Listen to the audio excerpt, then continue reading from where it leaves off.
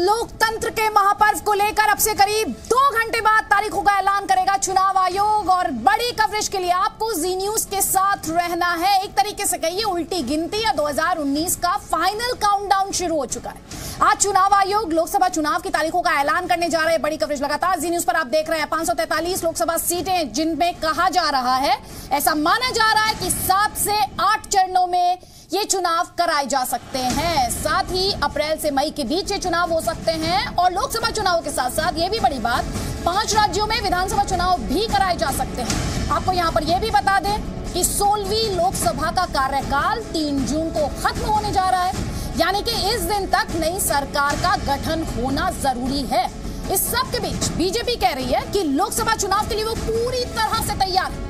आज शाम चुनाव की तारीखों का ऐलान होते ही ये भी बड़ी बात आपके लिए जानना ज़रूरी।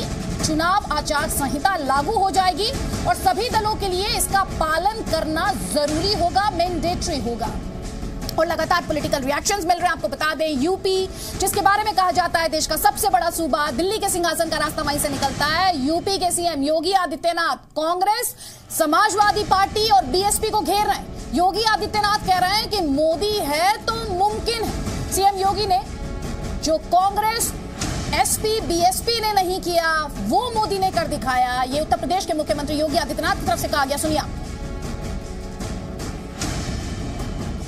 अभिनंदन करना चाहिए इस देशवासियों को, इस देश के किसानों को, इस देश के नौजवानों को, इस देश की महिलाओं को, कि जो कांग्रेस सपा, बसपा के लिए नामुमकिन था, उस नामुमकिन को मुमकिन बनाया है। क्योंकि मोदी हैं तो मुमकिन है। तो 2019 का किंग कौन होगा? ब्रांड मोदी को कौन टक्कर देगा। मोदी वर्सेस ये जो महागठबंधन की बात कही जा रही है, ये संग्राम कैसा होगा? सवालों की लिस्ट बहुत लंबी है और यकीन मानिए आपके भी सवाल होंगे ये। हम इन्हें सिलसिलेवार तरीके से आगे भी उठाएँगे, लेकिन बड़ी खबर इस वक्त की यही है कि अब से करीब एक घंटा अट्ठावन मिनट बाद एक काउंटडाउन आप हमारी स्क्रीन पर देख पा रहे होंगे। करीब मान लीजिए एक घंटा सत्तावन मिनट बाद अब आप ये कह सकते हैं कि बड़ा ऐलान होने जा रहा है। पाँच बजे चुनाव आयोग की प्रेस कॉन्फ्रेंस करने जा रहा है। चुनाव आयोग पूरे तरीके से तैयार है और स्टेटमेंट्स के आने का सिलसिला जारी है। बयान एक के बाद एक आ रहे हैं। आज आरएसएस की तरफ़ से भी बयान आया, जिसमें राम मंदिर को लेकर मोदी सरकार पर उसने पूरा भरोसा जताया। यानी कि मोदी सरकार को संघ की तरफ़ से, राष्ट्रीय स्वयंसेवक संघ, यानी आरएसएस की तरफ़ से एक पॉजिटिव मैसेज मिला, सकारात्मक संदेश मिला। अब सवाल ये उठता है कि मोदी सरकार का मुकाबला करने के लिए, जैसे कि मैं आपसे लगातार ये बात कह रही हूँ, कि ब्रांड मोदी को टक्कर देने के लिए कौन है विपक्ष का? माना यह जा रहा है कि लोकसभा चुनाव के साथ पाँच राज्यों में विधानसभा चुनावों का भी ऐलान हो सकता है। आपको बार बार हम बता रहे हैं कि तीन जून तक नई सरकार का गठन हो जाना चाहिए, क्योंकि सोलहवीं लोकसभा का कार्यकाल तीन जून तक ही है। यानी 133 करोड़ भारतीयों की निगाहें इस समय चुनाव आयोग पर टिकी हैं। ये जानने के लिए कि चुनाव कितने फेजेस में, यानी कितने चरणों में, कब और कहाँ पर होगा, कौन से राज्यों में चुनाव। तो 2019 के चुनावों पर कई सवाल है। बार बार जी न्यूज़ आपके सामने वो सवाल लेकर आ रहा है। तो 2019 के विश्व युद्ध में जीत किसकी होगी? क्योंकि इसे भारत के इतिहास में एक डिफाइनिंग मोमेंट कहा जा रहा है। बीजेपी की लहर होगी या महागठबंधन? कहर बर पाएगा। कम से कम जो लास्ट इलेक्शन हुए थे विधानसभा के, वहाँ से महागठबंधन को थोड़ी सी संजीवनी मिली, कांग्रेस को संजीवनी मिली। मोदी पर किसान मेहरबान होगा क्योंकि कई बड़े ऐलान किए गए। या आरक्षण पर भी मोदी जीतेंगे घमासान आरक्षण की बात भी की गई सवर्णों के लिए। नामदार वर्सेस कामदार की लड़ाई। प्रधानमंत्री मोदी बार बार इसका ज़िक्र करते हैं। ये लड़ाई कौन जीतेगा? और साथ ही विकास। बीजेपी सरकार का, एनडीए सरकार का बड़ा मुद्दा रहा है। विकास पर मिलेंगे वोट या फिर राम मंदिर पर होगी चोट? यानी राम मंदिर को लेकर जो गुस्सा है, क्या वो बीजेपी के खिलाफ जाएगा? क्योंकि आरएसएस की तरफ़ से एक पॉजिटिव मैसेज आया, कहीं ना कहीं वो भी कंट्रोल करने की नेगेटिव मैसेज को सेंटीमेंट को कंट्रोल करने की कोशिश की एक्ट है, ऐसे और भी कई सवाल है। सीधे आपको लेकर चलती हूँ मेरी सहयोगी पयोधी के पास। बिल्कुल, और ये सवाल इसलिए बहुत महत्वपूर्ण है, दो घंटे से भी कम का वक्त बचा है अदिति और ये जानने के लिए देश बिल्कुल इंतज़ार कर रहा है कि वो तारीखें कौन सी होंगी। तो आपको बताया, आज लोकसभा चुनाव की तारीखों का ऐलान होना है। आप राहुल गांधी को देखिए, नरेंद्र मोदी को देखिए, या फिर कोई और। ये तीन जो हमने विंडो काटी है, उसमें हम ये दिखा रहे हैं कि एक महागठबंधन जो चाहता है, राहुल गांधी भी चाहते हैं जो उनका चेहरा बने। एक अकेला शख्स इस तस्वीर में आप देख रहे हैं, जिसको लेकर ये पूरी कवायद हो रही है, यानी कि पूरा गठबंधन हो रहा है। और एक तीसरी जो विंडो है, इसमें वो चेहरा जो अपनी अपनी महत्वाकांक्षाओं को आगे लाना चाहते हैं, फिर चाहे वो ममता बनर्जी हो या फिर मायावती। तो ये तीन तस्वीरें जो आपको हम दिखा रहे हैं, ये तो महज बानगी भर है, क्योंकि राजनीतिक तस्वीरें जिस तरह की निकल कर आई हैं, वो बहुत कुछ कहते हैं।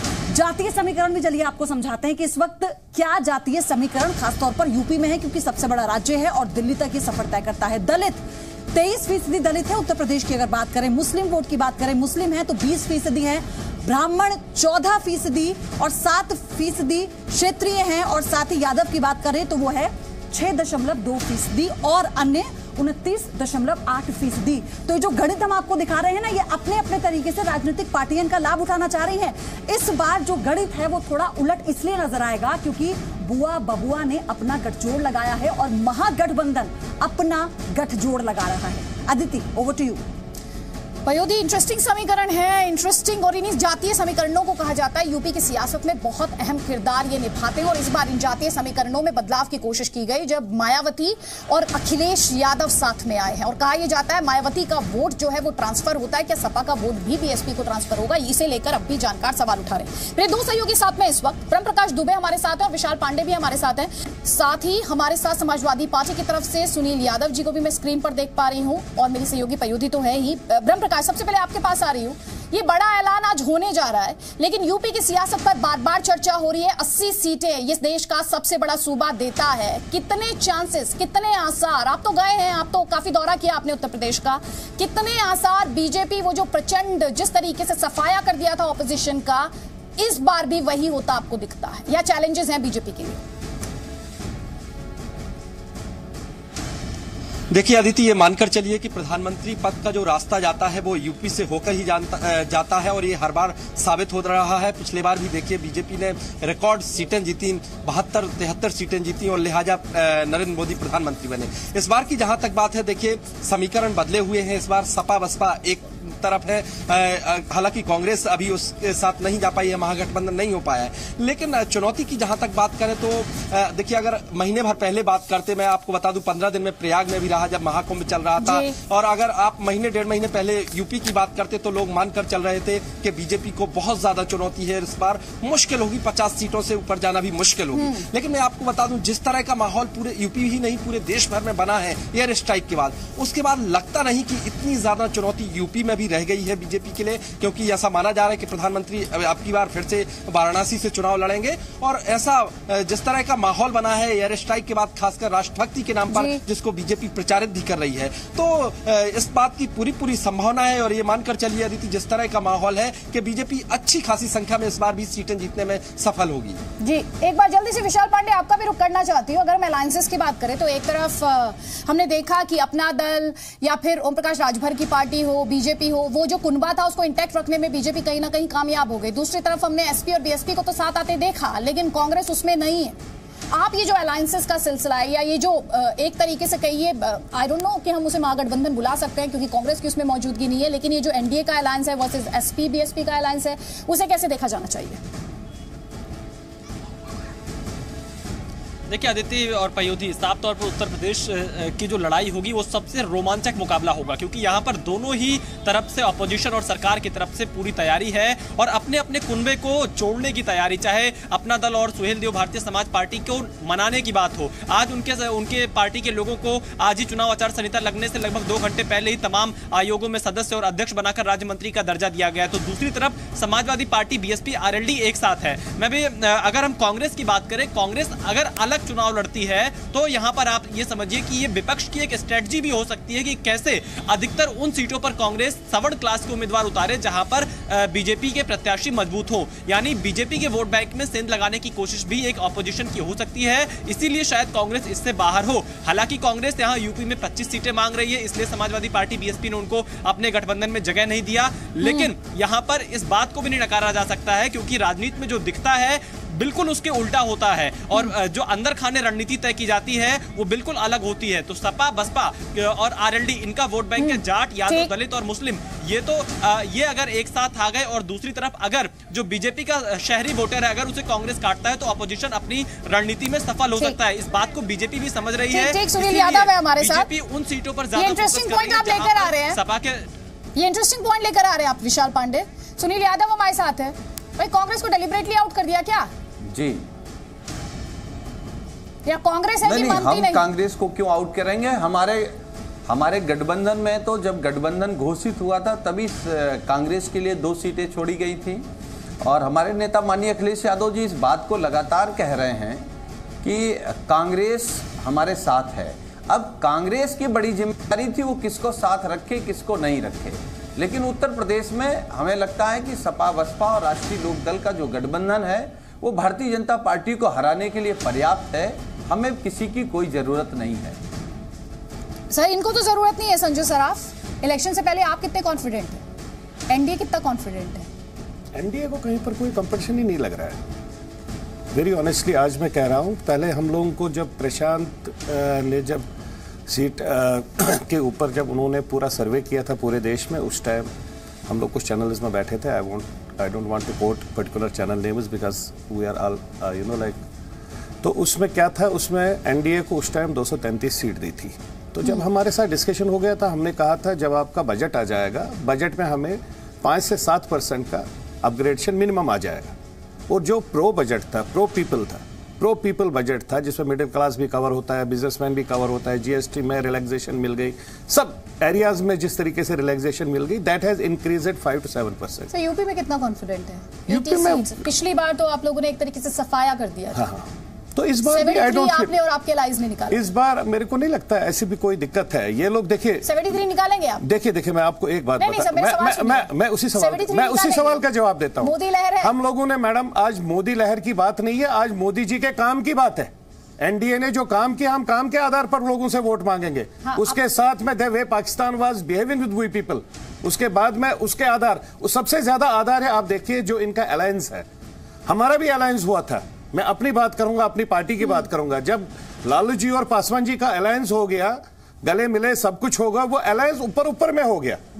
नीचे में कार्यकर्ता आपके साथ कभी नहीं जुड़ता है। आपको क्या लगता है जो यादव वोट है जिस तरीके से वो एग्रेसिव है एज कंपेयर टू दलित का दलित के साथ में जिस तरीके से उन्होंने एट्रेसिटीज जो सब इन इतने सालों में किए डू यू फील कि वो आँखें बंद करके आज की डेट में अखिलेश को वोट डालेंगे?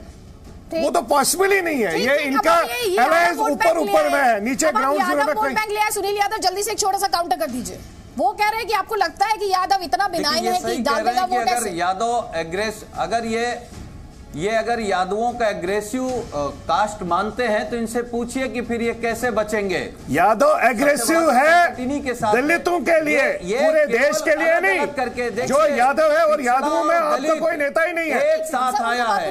और ये जो जाति कीड़ा आप लोग डालते हैं ना इसी सोच के खिलाफ ये जो आपकी सोच है सामंती जो ये मनवादी सोच है इसी सोच को खत्म करेगा पिछड़ा दलित का गठबंधन। जी हाँ नेताओं की डेट शीट आने वाली है और नंबर आपको देने हैं, क्योंकि आप है जनता जनार्दन। अब से करीब एक घंटा तैतीस मिनट बाद दुनिया के सबसे बड़े लोकतंत्र का सबसे बड़ा एग्ज़ाम जी हाँ लोकतंत्र के महापर्व की तारीखों का ऐलान चुनाव आयोग करेगा पाँच बजे। साथ ही ये कहा जा रहा है, पाँच राज्यों के विधानसभा चुनावों का ऐलान भी चुनाव आयोग लोकसभा चुनाव के ऐलान के साथ कर सकता है।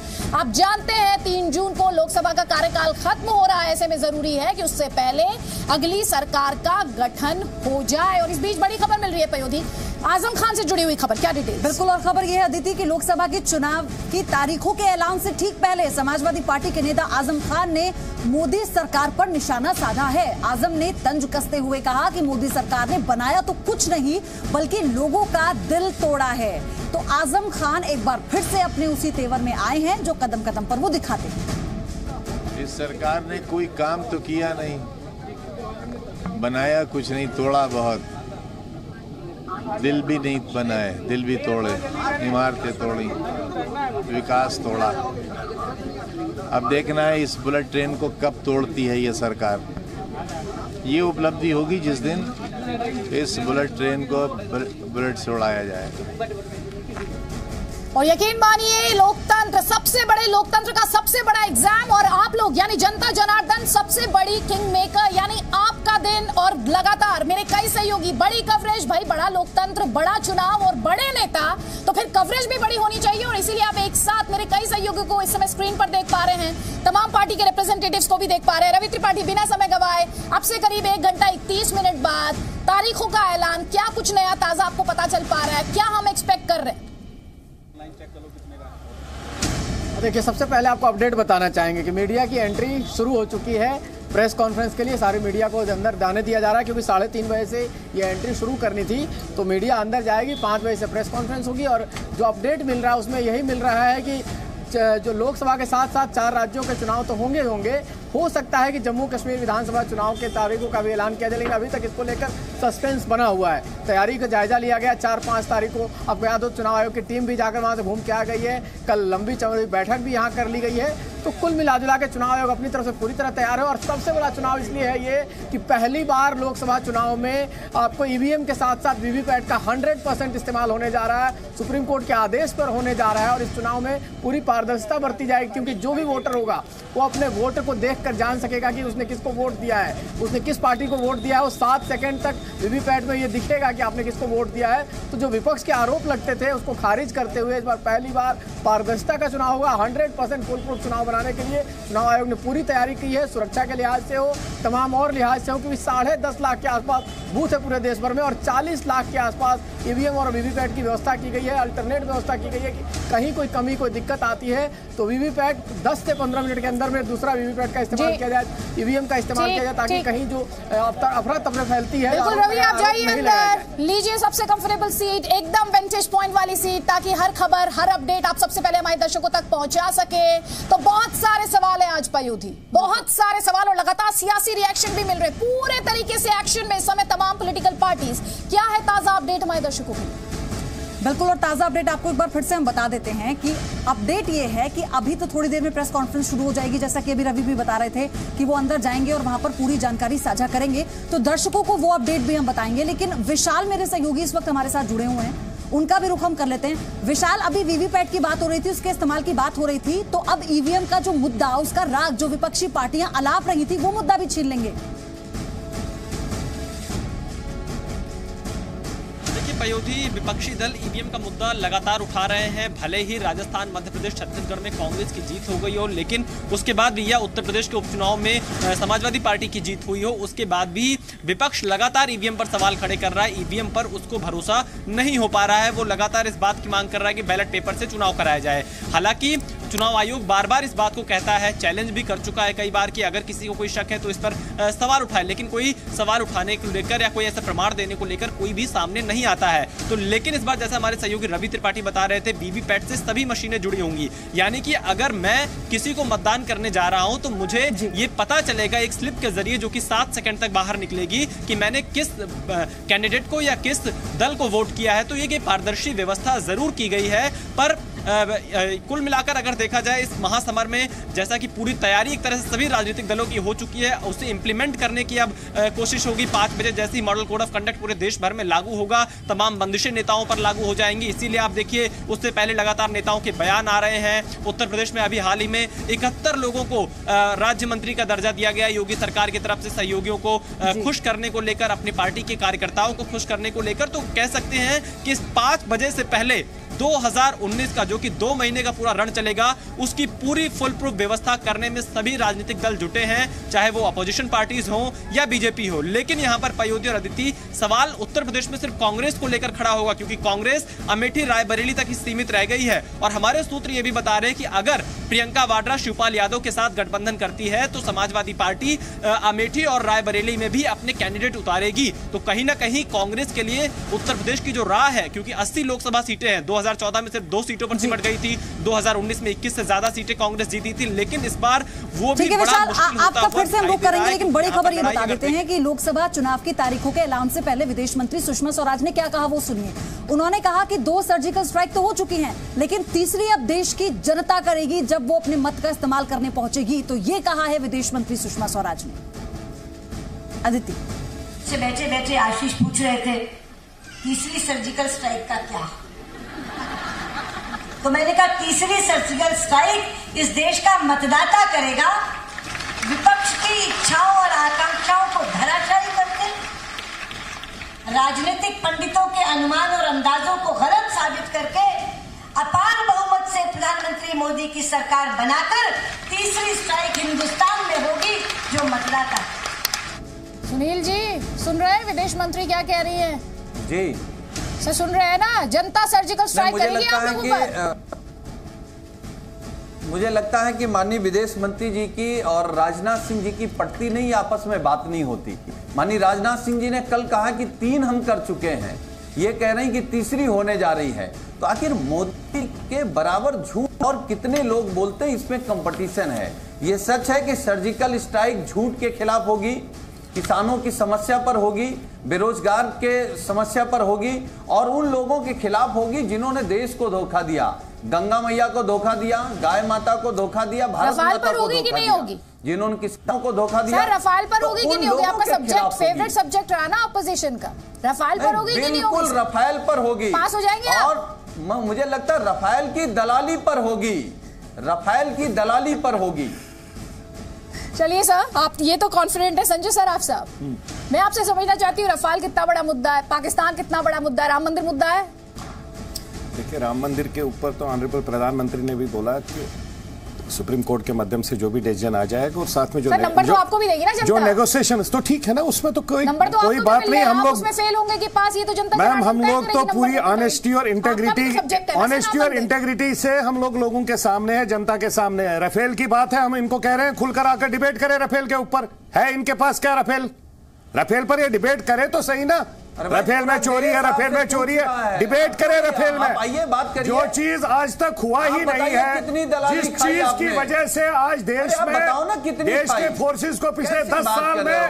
दस साल में फोर्सेस को आप लोगों की वजह से जिनके साथ आपका गठबंधन है में बैठ के उन लोगों ने बात कर रहे हैं बहस करने की। नहीं दिया। एक बार तो कहलवा दीजिए। आज से आज एक से बार तो आज से तीन साल पहले अगर वार होता हम तो ताली बजा बजा के बड़े भाषण में थे। आज आज क्या बात कर रहे हैं डाउन हो गए? सराफ साहब और सुनील जी प्लीज़ रुक जाइए। आज तो डेट शीट आ रही थोड़े थोड़े नर्वस होंगे ना सर नहीं, नहीं, मैम, कोई भी तो नहीं है। थोड़े से कॉन्फिडेंट भी होंगे। देखिए अब मोदी सरकार पर अखिलेश यादव निशाना साध रहे पयोगी।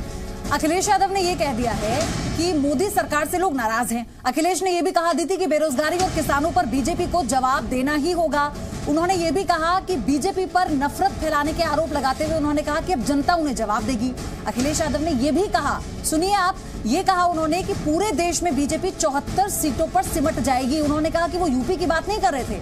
लगता है उनसे गलती हो गई। वो पूरे देश की बात कर रहे थे। दरअसल सिर्फ़ पूरे देश में चौहत्तर सीटें बीजेपी को मिलेंगी। अरे सुनील जी कौन सा मीटर है? अखिलेश यादव के पास। अच्छा ये पहले सुन लीजिए सुन लीजिए पहले फिर पूछती हूँ सवाल। हालाँकि वो संख्या जानते हैं और हो सकता है पूरे भारत की संख्या बता रहे हैं। आपको सुनने में थोड़ी दिक्कत हो गई होगी। उन्होंने कहा होगा कि भारत में हम इतनी सीटें जीतेंगे। बाहर से पढ़ लिख कर आए हैं इंटेलेक्चुअल ब्रेन होकर इंटेलेक्चुअलिज्म कुछ ठीक ठीक ठीक सर तो सर आप सबको कॉन्फिडेंट होने का हक है लेकिन सुनील जी मैं आपसे ही जानना चाह रही हूँ अखिलेश यादव के पास कौन सा मीटर है सर जो उन्होंने जनता की नब्ज नाप ली है? अपने आने वाले मीटर- नंबर ही प्रिडिक्ट कर दिए सर उन्होंने। मीटर हमारे आपके पास है। साथ में है। मीटर हमारे आपके पास नहीं मीटर है देश के किसानों के पास। देश के बेरोजगार नौजवानों के पास। सर, उसके पिछड़े पास तो आई दलितों, सब्सिडी। मुसलमानों के पास। मीटर उनके पास है जिनको कहा गया था पंद्रह लाख रुपए देंगे। मीटर उनके पास है जिनको एक नए सपना दिखाया गया था कि देश में एम्स बनेंगे स्मार्ट सिटी बनेंगी। तो गंगा तो मैया साफ़ हो जाएँगी। सीमा पर जवान हो रहा है सुरक्षित रहेगा बहन बेटियाँ। सुरक्षित रहेंगी। आप तो पढ़े मीटर लिखे हैं, उनके पास है, जिनको धोखा मिला है और वो लोग तय करेंगे कि भारतीय जनता पार्टी को पूरे देश में सौ आप सीटें न मिले। धोखा नहीं दिख रहा है। अरे आप धोखा देना चाहते हैं नहीं चलता समाजवादी और बसपा बसपा धोखा दोनों मिलकर आप दोनों बताइए मिलकर किसानों को धोखा एक रैली कर लीजिए फिर पता चलेगा आपको कितने रोज़गार दिए? सुनील जी आप कितने दोनों रोज़गार मिलकर एक रैली कर लीजिए फिर पता तो चलेगा सुनील जी, एक सवाल है क्या। लोगों के बीच में? रैली जी, आपके दिखाई नहीं देगा। सुनील जी एक सवाल है मेरा आपसे की अगर अखिलेश यादव को इतनी ही चिंता थी? सुनील जी सुन लीजिए अखिलेश यादव को अगर इतनी ही चिंता थी तो बुआ के साथ फिर क्यों आ गए अपना वजूद खत्म हो रहा था इसलिए ना जनता के हित के लिए थोड़ी आप मोदी जी से पूछ सकती हैं। ये बात एक बार आप मोदी जी से पूछ सकती हैं कि अगर आपका इतना बड़ा ही चेहरा है तो 40 पार्टियों की क्या ज़रूरत है? हम तो दो और तीन पार्टियों के साथ गठबंधन किए। हमारे दो तीन लोगों से मिलने उन पार्टियों के साथ सुनील जी उन पार्टियों के साथ। जिनके जिनके विरोध में आप लोगों के सुर हमेशा बुलंद रहे हैं उन पार्टियों के साथ गठबंधन कर रहे हैं आप? क्या जवाब देंगे जनता को? अरे जम्मू कश्मीर में इन्होंने किसके साथ गठबंधन किया? ये इनका राष्ट्रवाद है। ये झूठे राष्ट्रवादी लोग हैं। ठीक है सर आप उन्हें झूठा मतलब बताइए ये आप पर उंगली उठाएँगे लेकिन जनता मतलब बहुत समझदार है उसे नंबर देना आता है। सुनील जी उसे नंबर देना आता है और लगातार बयान आ रहे हैं और जी जी न्यूज़ पर ये बड़ी कवरेज लगातार जा रही है यूपी के सीएम क्योंकि उत्तर प्रदेश की बात कर रहे हैं उन्होंने बड़ा हमला किया है कांग्रेस समाजवादी पार्टी और बहुजन समाजवादी पार्टी पर बहुजन समाज पार्टी माफ़ कीजिएगा। वो कह रहे हैं मोदी है तो मुमकिन है। ये टैगलाइन बन गई है बीजेपी की। क्या उन्होंने कहा सुनिए आप। अभिनंदन करना चाहिए इस देशवासियों को इस देश के किसानों को इस देश के नौजवानों को इस देश की महिलाओं को कि जो कांग्रेस सपा बसपा के लिए नामुमकिन था उस नामुमकिन को मुमकिन बनाया है। क्योंकि मोदी है तो मुमकिन है। ब्रह्म प्रकाश दुबे मोदी है तो मुमकिन है। क्या कह रहा है उत्तर प्रदेश? ज़िले ज़िले घूमे आप? देखिए अदिति, मैं आपको बताऊँ, मैंने बीती दो रैलियाँ कवर की हैं। ग्रेटर नोएडा की, गाजियाबाद की एक कल थी एक परसों थी और इन दो रैलियों की अगर बात करें तो जो ये नारा योगी ने भी वहाँ लगाया और तमाम अधिकतर नेता ने, नेताओं ने ये मान लिया है कि यही नारा लगना चाहिए और ये पब्लिक में एक तरह से फैल भी रहा है कि मोदी है तो मुमकिन है। ये हर रैली में नारा लग रहा है और बीजेपी अपनी योजनाएँ गिना रही है कि मोदी सरकार ने देखिए और सबसे महत्वपूर्ण बात है जो भी भाषण होता है स्पीच होती है चाहे प्रधानमंत्री की बात कर लीजिए योगी की बात कर लीजिए या बीजेपी के जितने भी नेता रैलियों में जा रहे हैं आधा भाषण होता है कि कैसे आतंक पर चोट की है प्रधानमंत्री नरेंद्र मोदी ने मैं उसी कि point पे आ पाकिस्तान के घर में घुसकर पाकिस्तान का कैसे कितना बड़ा आतंकी पाकिस्तान कैंपों को कितना तबाह बड़ा किया मुद्दा है? तो, इन चुनाव में पाकिस्तान कितना बड़ा मुद्दा है ये भी हर किसी के जहन में सवाल है और भी बहुत सारे सवाल है। नामदार वर्सेस कामदार 2019 का किंग कौन सबसे बड़ी जमहूरियत का सबसे बड़ा इलेक्शन सबसे बड़ी डेट शीट ये बड़े कवरेज